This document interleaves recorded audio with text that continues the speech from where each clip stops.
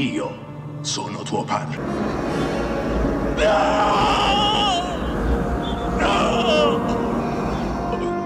Ciao amici, naturalmente si scherza ma benvenuti su Byte Retro One, canale di retrocomputing per passione e un pizzico di nostalgia dove si parla di home computer e microcomputer degli anni 70 e 80. Nelle scorse puntate ci siamo occupati di disk drive prodotti dalla Commodore per il Commodore 64, VIC-20, C128 e Serie 264. Se non li avete già visti vi lascio i link in descrizione, ma oggi parliamo dei cloni, cioè dei disk drive prodotti da terze parti ma compatibili con il Commodore 64 e gli altri home computer a 8 bit della Commodore. L'elenco non sarà esaustivo naturalmente, ma ci soffermeremo sui modelli più diffusi in Europa e specialmente in Italia. Ma come dico sempre, bando alle ciance, mettetevi comodi, cliccate sul pollicione in alto, iscrivetevi al canale per non perdervi i prossimi contenuti e eh, ci vediamo subito dopo la sigla.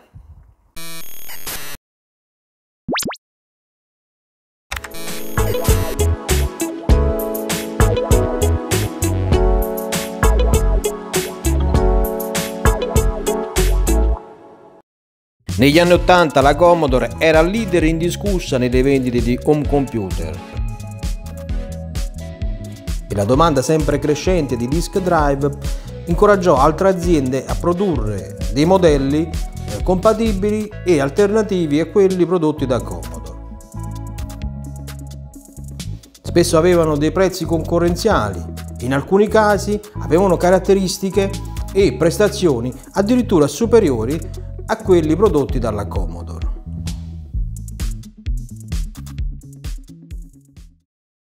Tra i modelli più diffusi in Italia di disk drive compatibili con quelle della Commodore c'erano quelle della serie RF500C. Tra questi c'era il modello RF501C, molto simile a quello prodotto da Blue Chip per il mercato americano, L'RF501C si propone come alternativo al 1541C della Commodore. Al lato posteriore vediamo le due porte seriali e il connettore a sezioni rettangolari, il selettore per numero di unità e l'interruttore per l'accensione.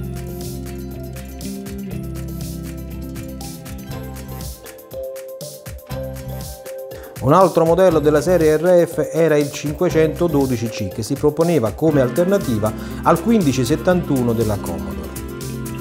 Come vediamo esteriormente c'è la scocca, è la stessa usata per il modello RF501C. Hanno una buona meccanica ma spesso soffrono di disallineamento della testina.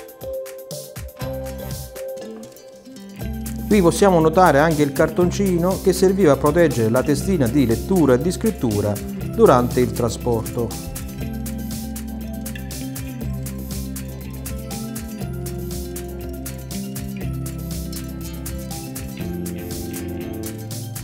Qui vediamo a confronto il modello RF501C con il modello RF512C. Come vediamo le scocche sono le stesse. Nel manuale d'uso andiamo a leggere quanto dichiarato, cioè che l'RF501C è compatibile con il 1541C della Commodore, mentre l'RF512 è compatibile con il 1571. Qui vediamo il trasformatore con il connettore a sezione rettangolare. Le due tensioni in uscita sono 16 volt in alternata a 0,8 A e 9 volt in alternata a 1,5 A. Un altro modello molto diffuso in Italia era l'Oceanic OC 118N, compatibile con il 1541-2 della Commodore. Questo modello era molto apprezzato per le sue caratteristiche meccaniche. Si presenta molto compatto e resistente con la sua scocca in metallo. Nel lato posteriore troviamo il connettore per l'alimentatore, i due ingressi seriali e il tasto di accensione e spegnimento. La scocca in metallo ricorda molto quelli dei drive del, dell'Apple II, anche se è molto più compatto.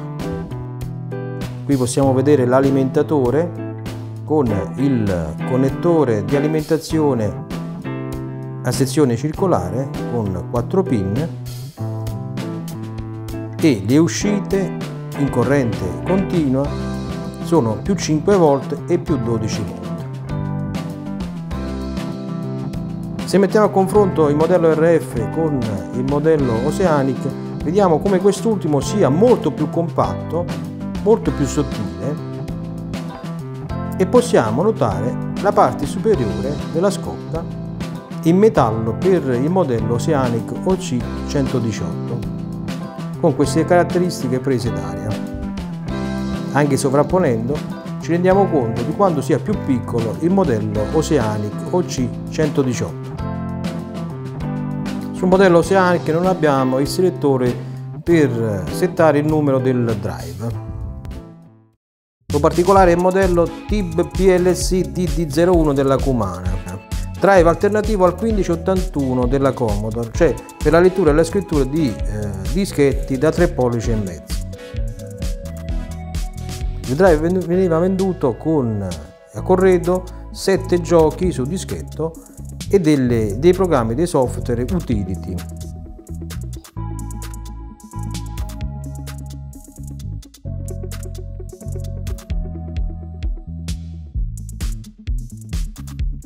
Apriamo la confezione per scoprirne il contenuto.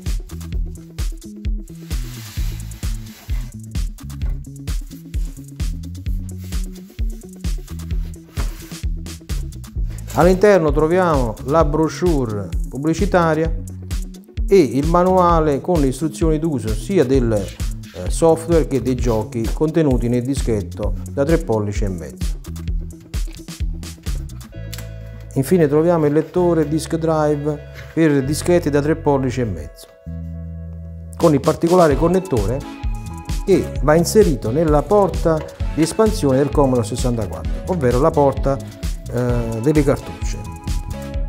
Venne prodotto nei primi anni 90, cioè al finire dell'epoca del Commodore 64 ed ebbe quindi una scarsa diffusione. Venne prodotto principalmente per il mercato inglese e tedesco Esteticamente questo lettore è molto simile ad un altro prodotto da, dalla stessa Kumana per i computer Amiga. Stiamo parlando del modello di disk drive esterno per Amiga CAX354. Il meccanismo di esplosione di dischetto è naturalmente quello classico dei lettori da 3 pollici e mezzo.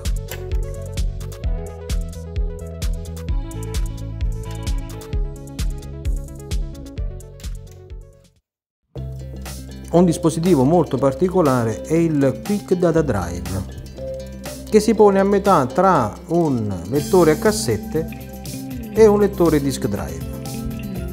Infatti come supporto utilizza queste particolari cartucce a nastro magnetico, simili alle cassette audio, ma di dimensioni molto più ridotte e di capacità superiori.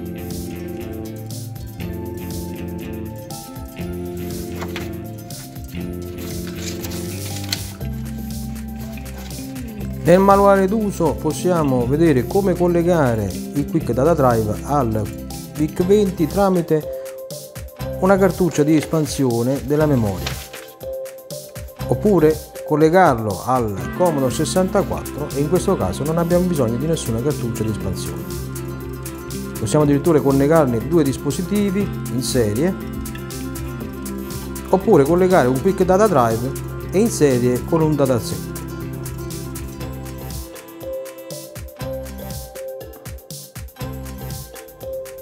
Qui vediamo il connettore che va inserito nella porta cassette del Commodore 64 o del VIC-20. Il dispositivo possiede un proprio sistema operativo che veniva caricato tramite la cartuccia magnetica. Nella confezione poi veniva fornita un'ulteriore cassetta magnetica per registrare i propri dati.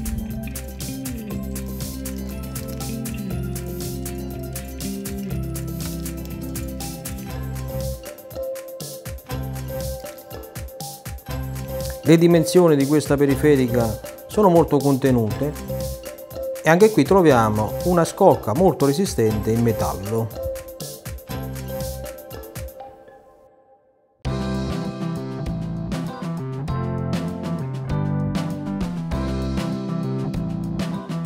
Qui possiamo apprezzarne le dimensioni molto ridotte sia rispetto al disk drive, in questo caso un Oceanic, e sia rispetto a un dataset della Commodore.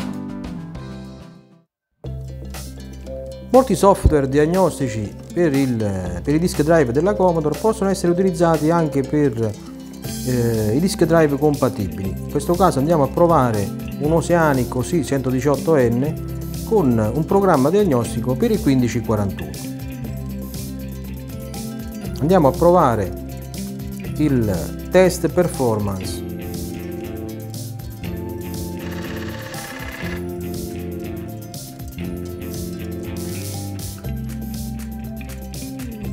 È possibile comunque utilizzare altri test per l'allineamento della testina oppure per regolare il numero di giri al minuto del motore passo passo.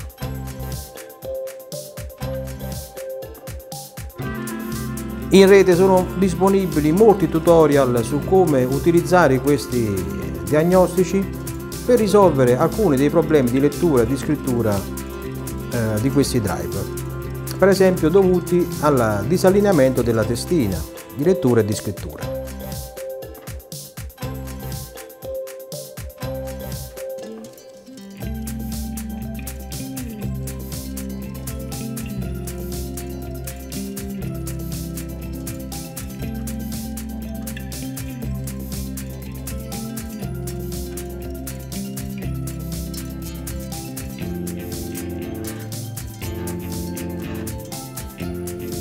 In questo caso il test si è concluso positivamente con lettura e scrittura corretta dei dati sul dischetto. Bene amici, siamo giunti al termine anche di questo video, spero che vi sia piaciuto e in tal caso vi invito a lasciare un like e se non volete perdere i prossimi contenuti vi consiglio di iscrivervi al canale e di cliccare sulla campanella. Io vi auguro una serena Pasqua insieme ai vostri cari e vi aspetto numerosi ai prossimi video. Ciao!